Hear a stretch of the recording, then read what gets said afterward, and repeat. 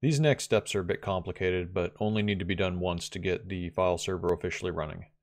Again, I'm using 9front, and this will be a bit different from legacy Plan 9 systems. The most noticeable difference is that legacy Plan 9 uses a two-part file system called Fossil and Venti.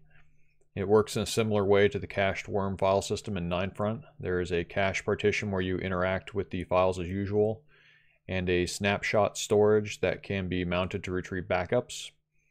However, the specific commands will be different between the two.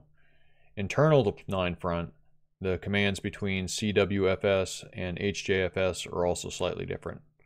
Both are covered in 9front's uh, frequently questioned answers, and I'll have a link to that below.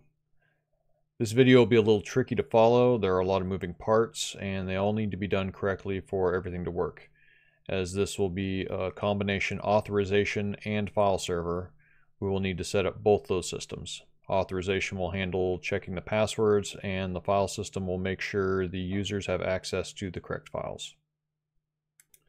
First thing that needs to be done is to set a host owner for the system. The Plan 9 developers did away with a root user because it was uh, had obvious security issues.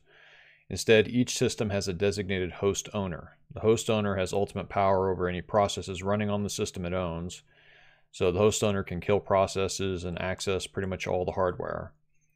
In the case of the file server, the host owner does not have unlimited access to the files normally. Only in the special case where the host owner boots the console mode uh, with authorization disabled.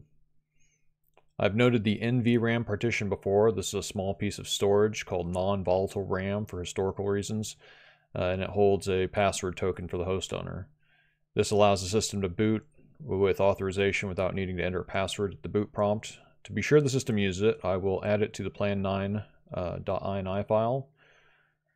Some systems will do this automatically, but I just want to be sure, so let's mount the 9FAT partition.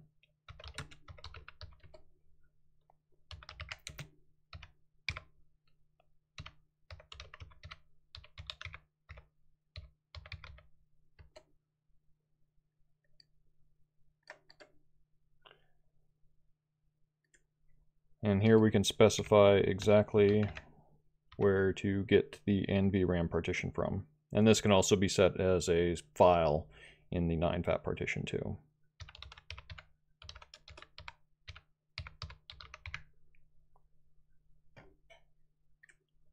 W to write and Q to quit. And now we'll reboot the system so that takes effect.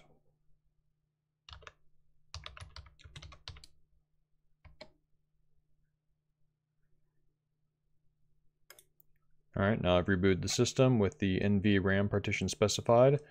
And the next step is to write to it. So to write to it, the command is auth slash wr key. And the auth ID will be the host owner, which will be Glenda. Uh, in this case, uh, this is asking for a domain name. I'm not running one in my internal network, so I'll just make one up. I'm just going to call it demo dom. Secstore key is used for another authorization system, and I'm just going to be skipping it for now, so I'll just hit enter and leave it blank. Now I will enter password for Glenda. And that's it. So the next is to add Glenda to the authorization system, and we'll also be adding a regular user too. So first we need to make sure we have access to the keys. So that's auth slash keyfs. And then auth slash oops, change user.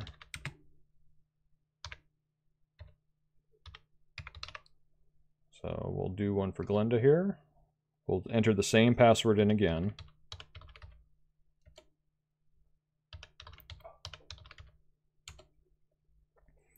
Uh, I'm bothering with that.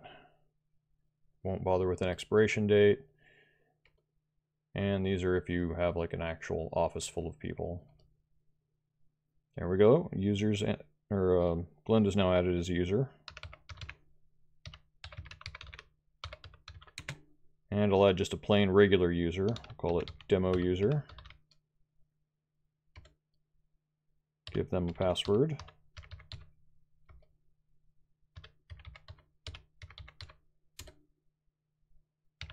And basically the same options.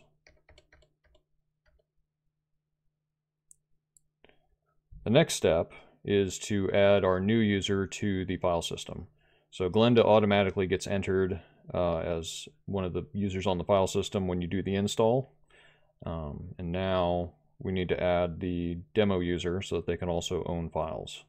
To do that, we will echo a command into the file system's command server. So let's echo new user, the user's name. and then direct that to serve CWFS CMD. All right, so now the new user has been added to the CachedWorm file system. The next step is to edit the network database file to designate this system as the auth and file server. That file is located in lib slash ndb. So let's go there.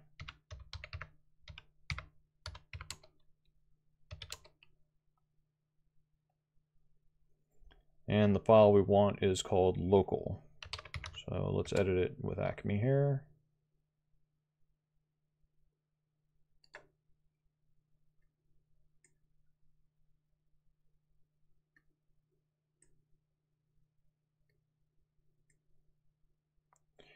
And down near the bottom here, we have an example that we can use.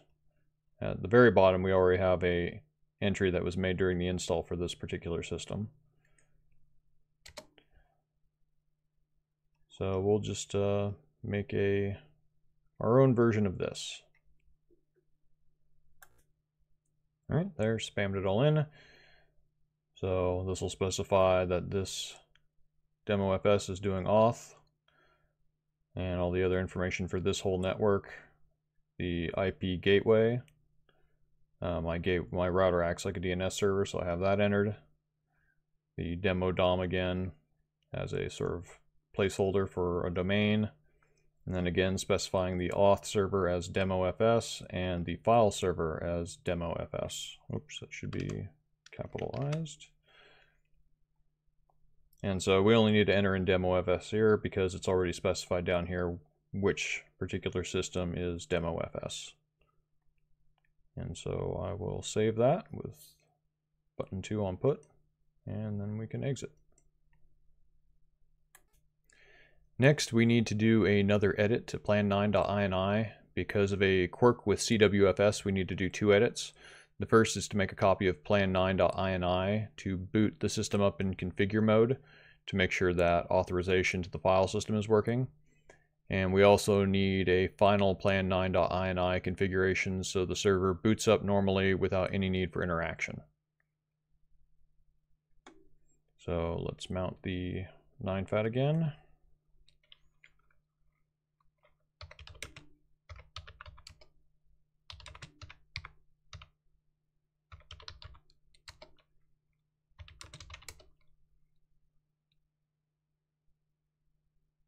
All right, make a copy of the current plan 9.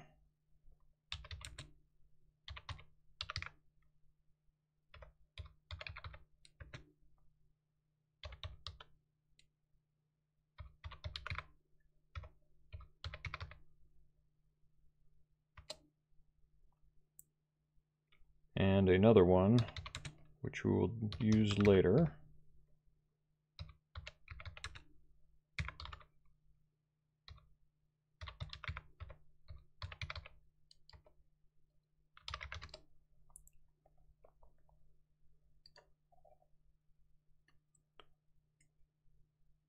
So for the existing one, the first thing we need to do is change this from the default, which is a terminal, to a CPU server. So that's adding service equals CPU. And then to the boot arguments, we'll add a dash C to the drive option for the file system, and this will put it into configure mode. Let's save that. For the new one, we will add an option called dash A, TCP, some stuff, 564. This will tell the system to be listening on TCP port 564 for uh, commands to mount to the file system. This will also be a service CPU. And we will change the boot args to no boot prompt, so it won't ask for us to hit enter.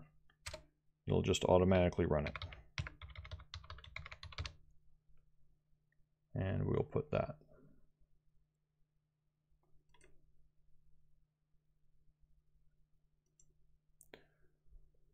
So I'm writing both of them now because once the system reboots, the graphical system will be disabled. Uh, so it won't load Rio and I can't edit the files with Acme or SAM. You can use ed, but writing both now and using move to rename them later is easier. So I've rebooted the system now and you can see it's waiting for me to enter the default, which has the dash C. I'll hit enter and it has a config prompt. And at this point I will type no auth says auth is disabled. I'll type that again, no auth. Auth is now enabled. And then type end. And it continues booting the system.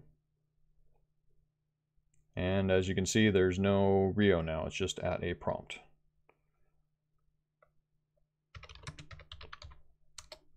Mount the 9FAT partition.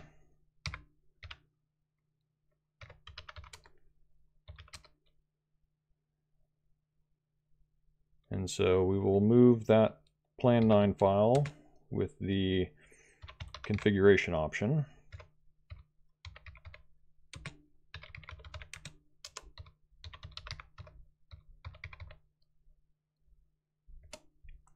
And then move in our final plan 9.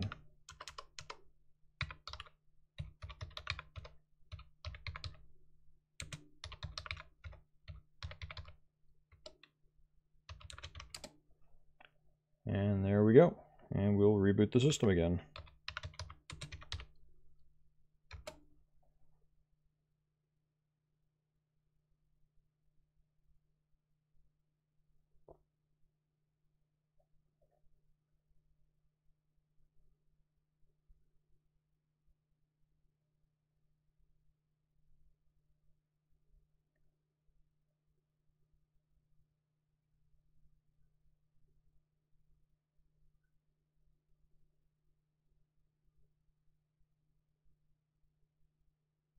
And there it is. Not so interesting on this end now. You can enter fs halt at the command line to shut the system down and then take out the monitor, keyboard, mouse, and boot it back up. It will happily sit there and wait for file server requests. Uh, in the next videos, I'll show how to use the bootable thumb drive to use other computers as diskless terminals, and also cover using the program DrawTerm, which is a kind of remote desktop app available for Windows, Linux, and other operating systems to access the Plan 9 system. Uh, well, that was a lot of steps, so my next video will probably be a quick demonstration of using the bootable thumb drive to fix any mistakes that might have been made. But until then, have fun.